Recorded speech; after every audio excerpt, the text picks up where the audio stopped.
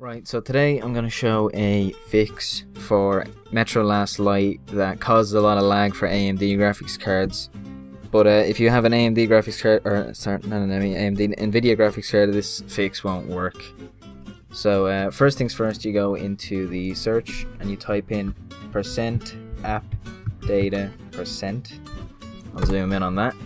Then you have to go up here to app data, go to local, 4A Games, Metro LL. I'm not going to read out that code and until you get to user.config.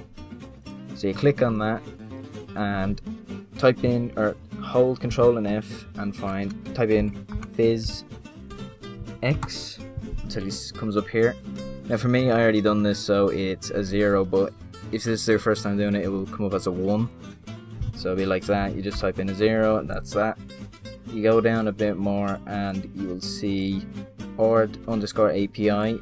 For me it was set to 2 so you put it to a 0 and then you go up here file and then save then you can exit out of that. And then that is pretty much it but if it doesn't work for you like for 99% of the people that I've seen using this it has worked. It worked for me. So if if it doesn't work for you, I'm pretty sure there's another tutorial out there that shows how to do it. But that that is the fix that mostly works. So yeah, there you have it.